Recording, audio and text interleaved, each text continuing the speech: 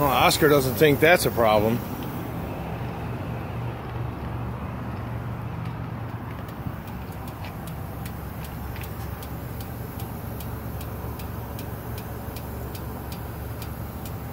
And so far, Oscar supposedly fixed that twice. Yay!